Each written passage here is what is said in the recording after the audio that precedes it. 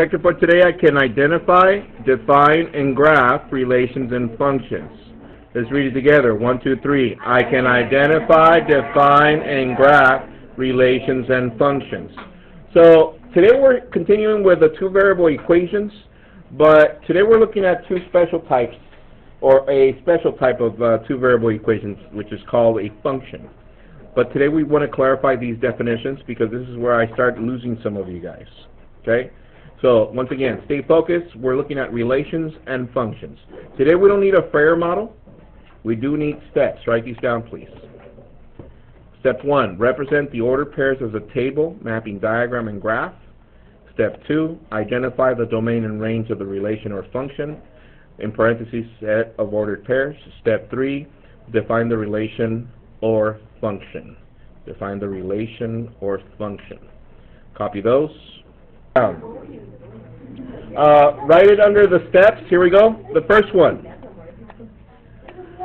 Ordered pairs. Focus, please. Ordered pairs. What are ordered pairs? Ordered pairs are a coordinate.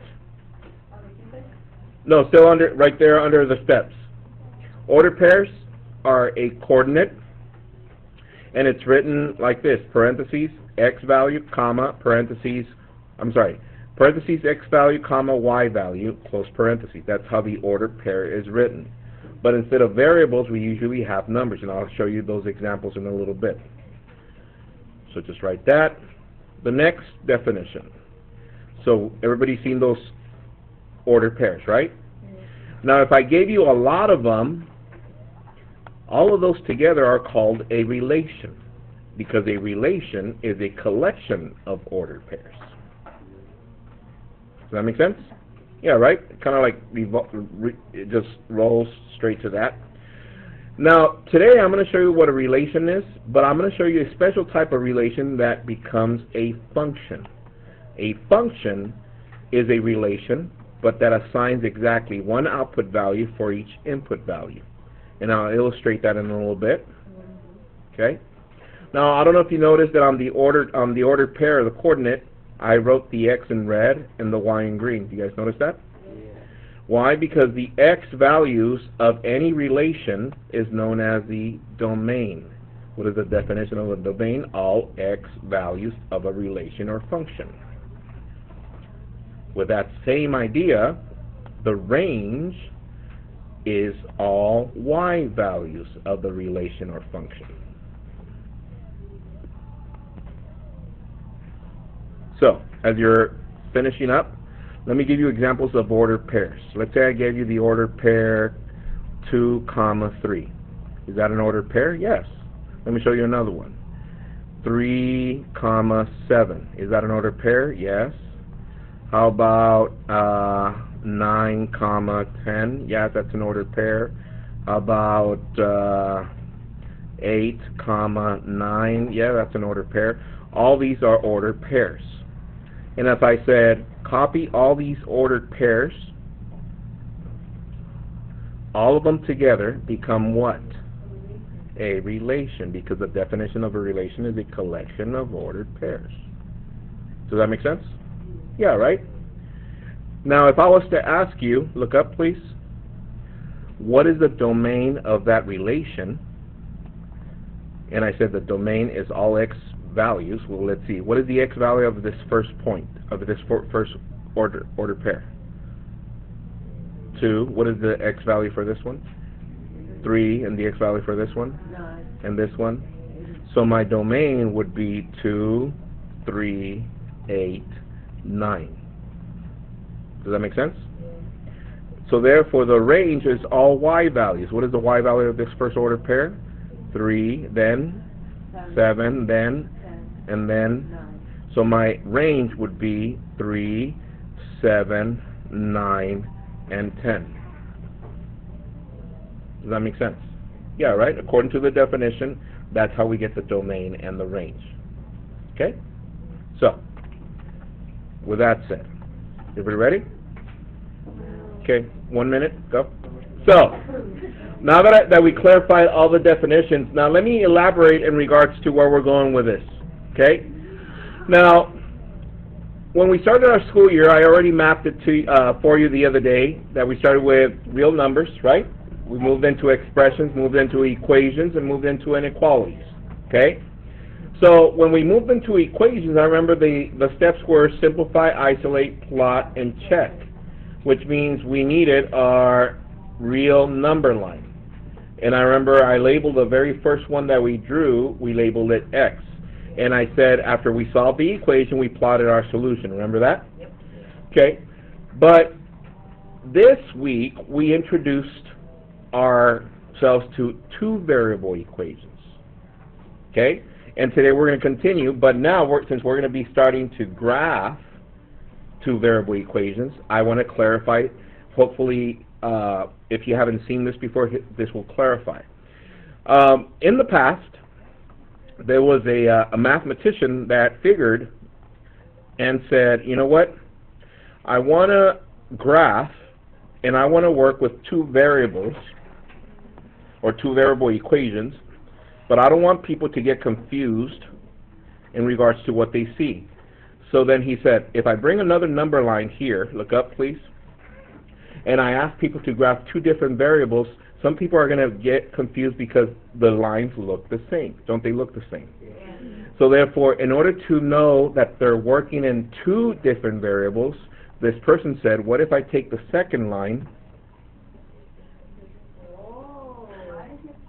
invert it, and combine it with that, and now we know that we have two variables. We have an x and a y value.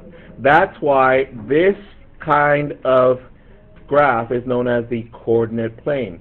The original um, mathematician that found out about this, his name was Descartes, a French guy. That's why this coordinate plane is also known as the Cartesian plane. It's after him. So therefore, he figured, look up please, he figured that in order for us to work on two different variables, we no longer have to stay just on the line. We can actually place a point anywhere and assign a ordered pair or a coordinate for it. So therefore, the first, what was the very first letter we started with uh, graphing? X. That's why the very first value corresponds to X. And what is the X value for this one? Look at this. 2. And what is the Y value for this one? 3. Sorry, I had to erase. My bad. Well, sorry. Uh, right there. Okay. It, what is it? 3. No, it it. My bad. Let me let me turn that around. Sorry. Yeah, I I, I should have switched it the other way. Let's see. Right there. There it is. Three. And now the negatives are down here. Okay? So therefore, that's why we now assign coordinates to each point. Does that make sense? So that takes us to two variable equations and graphing. So what are relations? Let me give you a good, uh, a very simple example of relations. Watch. So let's say I'm going to apply this to a, any regular day. And, and like, like probably you already know, I try and see math almost everywhere I go. So let's say I was to ask you guys, you know what, we're going to leave the class right now and we're going to go walk into Wally World. Yes? To, to Walmart, my bad. Walmart. So, so we go walking from here to Walmart, right, over there. So, and of course some people don't like walking. Some people, and some people like walking. I like walking and I, I walk fast, so some of you are going to keep up, and some of you actually uh, want somebody to keep up with you with your talking. So if you need somebody to listen, I'll be walking pretty fast. You keep up with me. So when we get there, I said, as soon as we get there, I'll buy you a drink. And who's seen these vending machines as you walk in? Yeah, right? Yeah. So there, so there it is. So. So as you walk in, you're going to see one of these vending machines, and they are 23 cents each soda. Bam! Pretty good, right? So anyways, if you notice here, look up please, there's 13, no, 12 buttons. 1, 2, 3, 4, 5, 6, 7, 8, 9, 10, 11, and 12 buttons. Are we there so far? Okay, so with that said, so when we arrive, the first ones that arrive there, uh, can you get the other light? Turn it off, please. Thank you. When we arrived there, I said, um, you know what? Whoever comes in, I'm going to buy you guys a drink. And this is what relations are. Here it goes. There's an input, which is the button that we press, and there's an output, which is whatever drink comes out. Are we there so far? Okay, so check this out. So, um, the first ones that kept up with me, let's see, it was uh, Lauren D. Lauren D. Uh, which button would you press? Ten. So she pressed a ten, and she gets a Diet Dr. Pepper. Okay. From there, uh, Rudy, what button? Number seven. He presses number seven, and he gets a Coke. Noemi, what button? Is that in there? No, at the bottom? Uh, what, this one? Yeah. No, it's a cactus cooler. What? Orange? Yeah, it's kind of orangey, yeah. Like today, people are dying of thirst. A 10. So then 10, and it's a doc, Diet Dr. Pepper. So then the next, next person, uh, Kendra. A 4, and she gets a Pepsi. And then from there he comes David.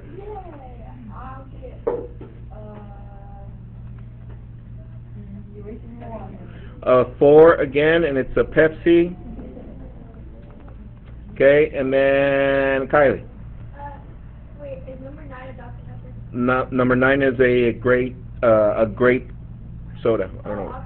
No, no, yeah, no, no, no, number two. number two, and she gets a Diet Coke. I'll stop right there. So now check this out. This, what we just did is a relation. Let me show you why it's a relation. What was the definition of a relation? A collection of ordered pairs. Do you guys see the ordered pairs? Yeah. 10, comma, Diet Dr. Pepper. You guys see it? Oh. Let me show you another one. What is the other order pair? Seven with Coke. How about the next one? Ten with Diet Dr. Pepper. So since we're making ordered pairs out of this, this becomes a relation. But this is also known as, pay attention please, or you're going to miss it. This is also known as a function. Let me show you why. I pressed 10 here, what came out? I pressed I pressed 10 here again, what came out? And then I pressed 4, what came out? Pepsi. From there I pressed 4 again, it, like what came out? Pepsi, and so on and so forth. And then the last one, 2, and then I got a Diet Coke. So it's working, it's functioning correctly. Is that correct? Yes. All right. So that that was the first wave of people that arrived there. So I said, okay, go inside, go shopping. I'll wait for the other lazy people that were uh, uh, walking their way very slow, and and then I said, and I'll buy them a drink also. So I'm gonna make another input output table here. Input, output. Okay, let me move this over a little bit. Okay. So, so here comes Danielle. Danielle, what button? Is number five water? Number five is water, so she wants a water, so five is H2O. Okay. Of course, here comes Marissa. What, what button, Marissa? Four. No, no, no, eleven. Eleven, which is a cactus cooler. Okay, and then from there, Alyssa. Um, is number three Pepsi throwback? Yes, Pepsi throwback. So number three, Pepsi. Throwback is like. Okay, uh, about,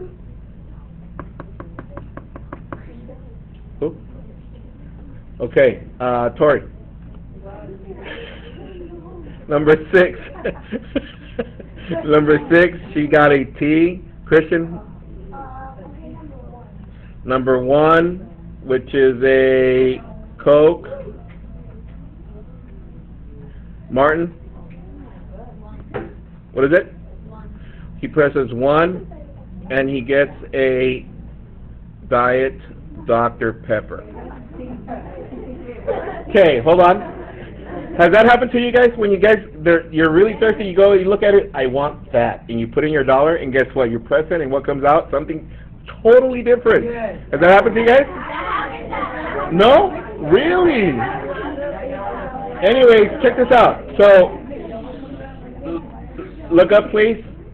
So, let me ask you this. Uh, you have a question? I have a comment. It says that for all the. No, I, I got it, I got, I got that. We'll address that in a little bit. So, look up, please. So, let me show you that this is still a relation, right? Can I make an ordered pair out of this? Yes, five, comma, H2O. Can I make an ordered pair out of this? Yes, eleven, C squared, which is the cactus cooler. Can I make an ordered pair out of this? Yes, three, Pepsi. Can I make an ordered pair out of this? Six, T. Pair out of this? One, Coke. And can I make an ordered pair of the other one? One Diet Dr. Pepper. So, is this a relation? Yes, because it's a collection of ordered pairs. It's the same exact. It's not the same exact. What's different here now? It's, it's in order. Okay, did it work, did it func, did it function correctly? No, this, when it did not function correctly, this is not a function. Okay, watch. We pressed the first button and it gave us a Coke, right? Right here. We pressed it again and what did it give us the second time? A Dr. Pepper. So, so now let me show you with numbers. Focus, please. Let me show you with numbers. Let's say, let's say I assigned, now instead of just writing Coke, Diet Coke and all this, I'm going to assign numbers to this. Let's say this one is uh, 50, 60, 70, 80, 90, 100, 110, 120, 130, 140, 150, 160. So now check this out. With numbers, this is what it looks like. In, well, sorry. In, out. So I'm going to use this one and copy it here. This is 5, 11, 3, 6, 1, and 1. So what is 5? That's 90. What is 11? 150. What is 3? 70. What is 6? 100. What is 1? So what should I get here if it's functioning correctly? Okay, once again. According to the button, if I press 1, what am I supposed to get? 50. But what number came out? What was this? Diet Dr. Pepper? What's Diet Dr. Pepper? 140. So this is how we know when something is just a relation or if something is a function. Watch. Whenever you see that the input repeats, did it repeat? Yes. And if it has two different numbers, then this is not a function. It's only a relation. However, look at the first set that we did. Everybody look up. Did, did any of the x values repeat? Okay. So, with that said, I said in the first time that we did this, did any of the x values or inputs repeat? Yes, the 10, if I press 10, I got Diet Dr. Pepper. When I press it again, what did I get? Diet Dr. Pepper. When I press 4, I got Pepsi. When I press 4 again, I got Pepsi. Therefore, this is a function because with the same number, we get the same output. However, did over here, did it repeat? Yes, here, but did we get the same output? No, we got two different outputs. This is not a function, it's only a relation. So, with that said, that was a quick intro. I want you to copy this down, please. Example number one. It says, express the relation 2, 3, 4, 7, 6, 8 as a table, as a graph, and as a mapping diagram. Also write the domain and range. Copy that. Okay? So it says, express the relation 2, 3, 4, 7, 6, 8. Is that a relation? Yes. Why is it a relation? What is the definition of a relation? A collection of ordered pairs. Do we have a collection of ordered pairs? Yes. That's why it's a relation. And it says, express that as a table. Have we seen the table so far? Yes, I showed you a couple already. We did some with uh, with the vending machine. Here's one. Do we know how to graph? Did I show you uh, the graph that we're going to be using? The coordinate plane? Yes, there it is. The only thing that you haven't seen is a mapping diagram. This is what it looks like, mapping diagram. And you're saying, whoa, that looks a little bit different, but you'll see how this works. This is going to show us whether a relation is a function or not, okay? We can also see it from the other places, but this will clarify it and also the graph. So, here he goes. First of all, we need to set our order pairs here. So what are my order pairs? 2, 3, I'm going to write it here, 2, 3. What is my other one? 4, 7. What is my other one? 6, 8. Why, why did I place them there? Because we know that the one on the left is the x value, the one on the right is the y value. Everybody there so far? Okay? So, did we express it as a table? Yes. Now let's express it as a graph. To graph 2, 3, let's see, 2 is here, 3 is here, and they both intersect right there. Let me do that again. 4, 7. 4 is here, 7 is here, and they both intersect right there. And the last one is 6, 8. 6 is here, 8 is here, and they both intersect right there. Are we there so far? Okay. All right. So, let me use a mapping diagram. For the mapping diagram, I'm going to use the x values, and if there are any numbers that repeat, I do not write them again. Tell your neighbor what I just said. So let's see. Let me look at my x values. 2, 4, 6. Do I have any numbers that repeat? No. So I just write them here. 2, 4, 6. Let me look at my y values. 3, 7, 8. Are there any numbers that repeat? No. So I write them here. 3, 7, 8. Okay. Let me move that down a little bit. So you're saying, well, what's the difference from this to this, Mr. Q? Well, for mapping diagrams, you actually need to indicate the relation from one number to the other. So let me ask you this. The 2 corresponds to which number from this side?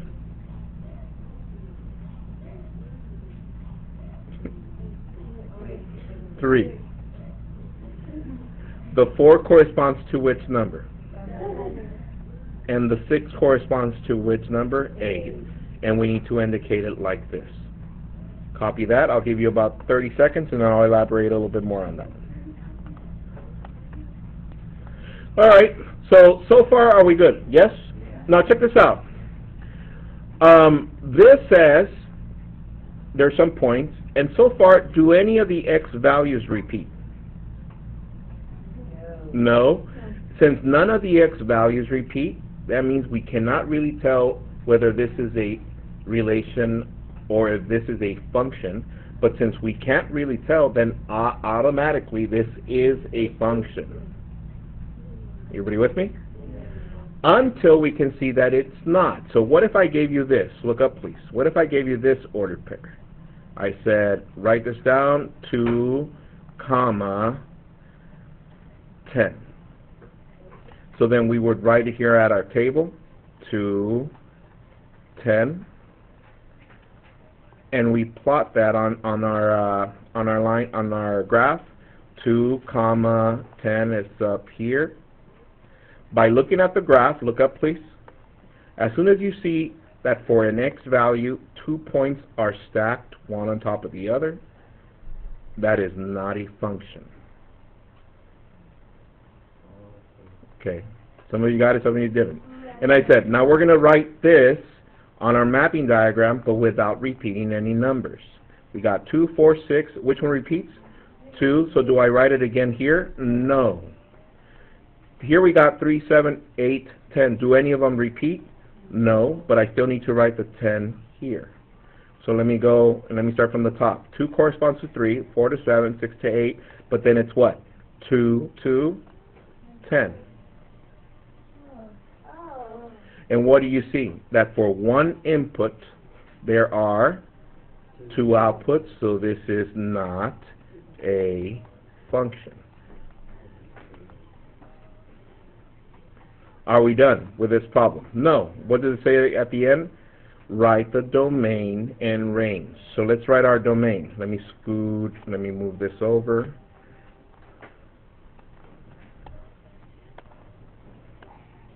Here we go domain. The domain for this one is what? 2, 4, 6, and 2. So what would I write? 2, 4, 6. What did you notice?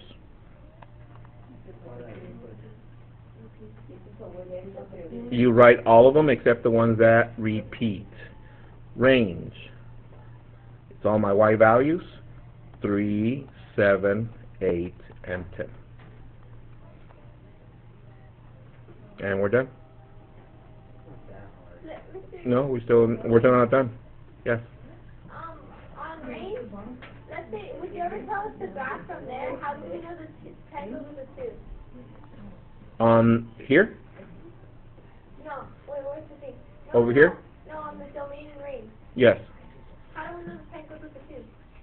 We don't know unless we see it on the mapping diagram or on the uh, input output table. Okay. okay. All right. So with that said. We're good up to right there? Yeah. All right, so check this out. So for homework, you're going to have a problem that looks very similar. It's going to say express the relation 1, 3, 2, 4, 3, 5 as a table, a graph, and a mapping diagram. So then you would do this, this, and that. Fairly simple? Okay, all right. But this is where I want to go. Copy this one down. Example 4. The number of dollars Melody earns for working x hours can be represented by the function f of x equals 5x.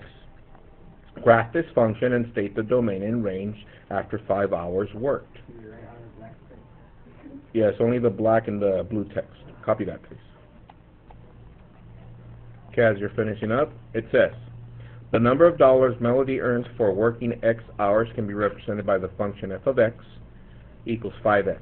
How do we pronounce this? Let me write it underneath so you guys can see it. This is pronounced f of x. f of x. What does the f stand for? The f stands for function. They're telling us that it is the function. Therefore, it says, graph this function and state the domain and range after 5 hours. So watch. To graph this, I need a table. Who's seen this? X, Y. Yes? So, I'm going to start from the beginning.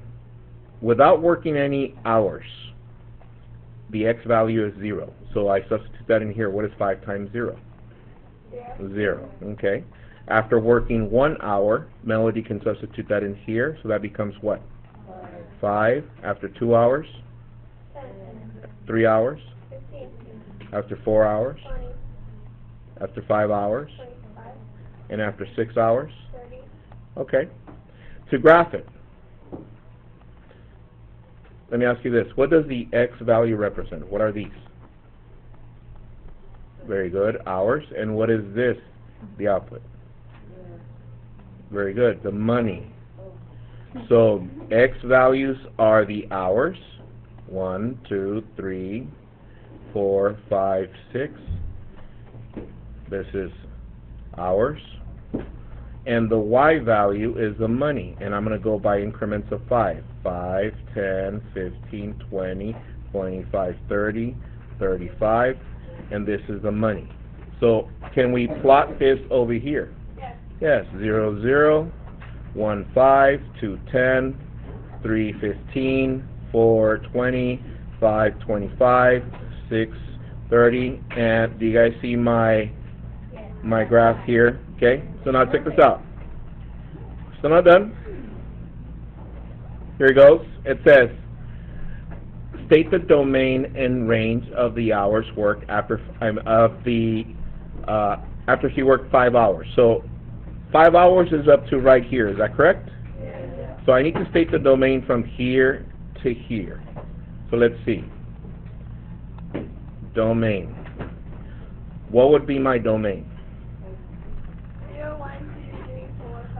Okay, I heard zero, one, two, three, four, five, up to five, right? Is that correct? Oh, wait, no, after them. After them. So that means that, wait, wait. Oh, Uh, it. after five hours, which is up to five, okay? So, Oh, after, no, no, no, no, no. What I'm saying, after five hours have elapsed, so it's from zero to five. Let me ask you the question. Let me ask the question. I heard zero, one, two, three, four, five. That is incorrect. When you work, do you work from one to one hour straight, like without stopping? What if somebody came and got you and there was an emergency? You're gonna have to stop wherever you stop, is that correct? So that means if you worked three and a half hours, are they only gonna pay you three hours? They're gonna pay you for whatever you worked, is that correct? So now, thinking about that, what would be our domain? Zero through five, how can we write that? Exactly.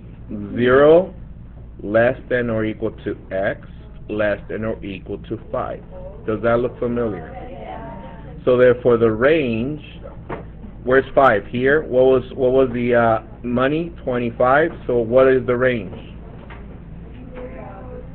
Zero less than or equal to y less than or equal to twenty-five. Yes. Uh, good one, guys. Home play for tonight.